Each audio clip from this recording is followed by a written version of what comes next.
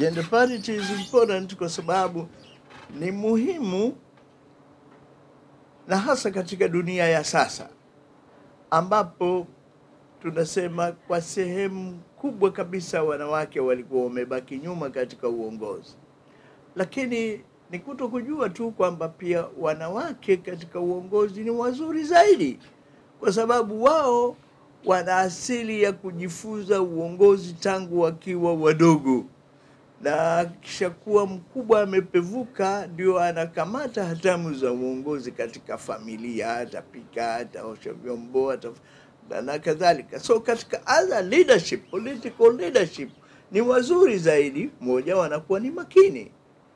Tu- Tuna mifano mingi sana, tuna mifano ya Ali Johnson yule wa wa, wa, wa Liberia ame- amekuwa kiongozi mzuri tu kwa kipindi cha miaka kumi nadhani, kama sio zaidi ya hapo, na bado ana heshima yake.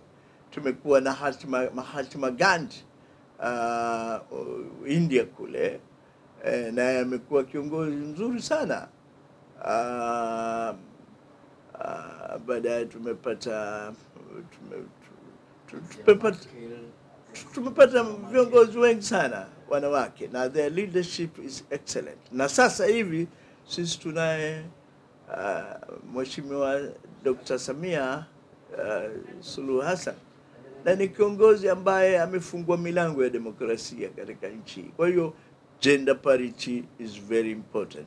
Moja, kwamba katika kila chama kuwe na uongozi ambao mwanamke atakuwa ni mmoja katika viongozi ndani ya chama. Kwa hiyo kwa hiyo kwa hiyo si tu kwa jinsia yao, lakini kwa wao pia kuwa ni werevu weledi katika uongozi. I mean, these are the natural born leaders. Kwa hiyo tulikuwa tunawaacha tu, tunawasuppress. Kwa hiyo kila chama, mi nadhani ni, ni sheria nzuri sana hiyo ambayo ambayo ina, ina, inajumuisha gender parity na na kufanya compulsory katika kile chama kuwe na gender parity. That's all. I, that's what I can say. It's the best law. Uh, Mimi nasema nina ni- ni- niwatakie wadanchi wananchi uh, demokrasia nzuri, lakini serikali iwe sikivu katika maeneo haya ambayo tumeyaonyesha kwamba ni muhimu sana. Lakini la mwisho labda niseme katiba, huwezi kubadilisha maeneo mengine bila kubadilisha katiba. Kwa mfano katika eneo hilo la la kuwe na uchaguzi kule na kuwe kuwe na na kuwe na, na, na, na chombo cha kusimamia migogoro ya chaguzi eh, tribunal, National Electoral Tribunal, mimi nimeita tribunal, baraza la usimamizi wa migogoro ya chaguzi eh, za nchi. Uh, ni, niseme tu kwamba huwezi kuwa sasa na chombo hicho bila kubadilisha katiba. Katiba itamke wazi kwamba ni moja ya sehemu ya matakwa ya katiba kwamba uwe na chombo hicho, lakini kuna kitu kingine uh, labda nimesahau kukisema, independent candidate. Independent candidate is very important. Kuna watu ambao wa, wanaweza kusimama katika jimbo lakini hawa, hawa, hawa wanaweza kuungwa mkono na vyama vingine vyote. Wapiga kura wapiga kura wana vyama vingi tu. Kwa hiyo wapiga kura wa, wa, wakishakuwa convinced na yule mtu wakapiga. This is a right of an individual to be elected. A, a right of it by constitution to be elected. Sasa ukimfanya kwamba lazima aingie katika mfumo wa vyama una unamdhoofisha unamdhoofisha, lakini ni haki yake ya kuchaguliwa, na wengine wanakubalika kabisa kwamba they are the inborn leader.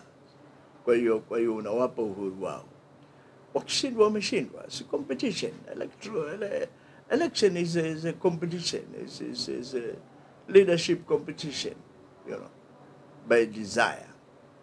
Kwa hiyo wape sheria iwape nafasi pia uh, independent candidate eh, nao wasimame katika level yoyote hiyo, tuanzie hapo. Uh, tu- tu- tusibanwe na levo ya rais, lakini katika levo nyingine zote wa, tuanzie angalau mahali fulani kwamba independent candidate amekubalika. Ya, nakumbuka nakumbuka zamani wakati wa watano kule Mbulu kulikuwa na Patrick Patrick Koro nadhani Patrick Koro I mean, he, he stood independent. He stood independent and he won Hanang, Hanang district uh, co- co- constituency. Kwa, hiyo- kwa hiyo kama iliwezekana wakati ule, kwa nini isiwezekane sasa? Kuna leaders wengine katika vyama ambavyo hawakubaliki kuwa leaders, lakini ndani ya chama chama huko kumekuwa na vyama, kumekuwa na, na njama njama fulani za kumpitisha ili aweze aweze kuwa mgombea kwenye vyama vyetu. Kuna ila pia na, na, na, na akawa anasukumwa tu kuwa kiongozi, kumbe hafai, hafai kuwa kiongozi. Kwa hiyo tuwape nafasi independent candidates waweze kuchaguliwa kama wengine, hawadhuru na hawana ugomvi wowote na mtu, and they don't. Kati ya watu ambao hawana conflict ndio hawa. Ata, a- a- ana conflict na nani na, na chama gani? Hana. Wao ndio wamfanyie conflict, lakini yeye hawezi kufanya conflict na na na na, na, na, na vyama you know. Uh, he is independent so yeye anakwenda by majority. Uh, nchi mbalimbali pia zina zina mifano mingi tu hata hata President Kabila by then katika first election alisimama as an independent candidate. Akaungwa mkono na vyama mia mbili vikamchagua akawa rais. Uchaguzi wa kwanza wa elfu mbili na sita DRC kulikuwa na na na na, na, na, na independent candidate kama watano sita hivi, na out of those 33 candidates waliosimama wakati ule, independent candidate walikuwa watano sita, na na, na Kabila akachukua kuwa kuwa kuwa, kuwa, kuwa rais, amekuwa supported na vyama mia mbili, so so it is possible. Hatusemi kwamba ni, ni, ni si, si, eh, ita- itakuwa labda anafanya nini, lakini hapana, it, it will be supported by the electorate. Hawa watakaomchagua ndio ambao watakuwa ndio supporter wake, na atajitahidi aunganishe hivi vyama ili viweze eh, kumsapoti zaidi katika katika uongozi wake. That's all. He is not a threat to anybody, but he is there as his constitutional right to be elected. That's all.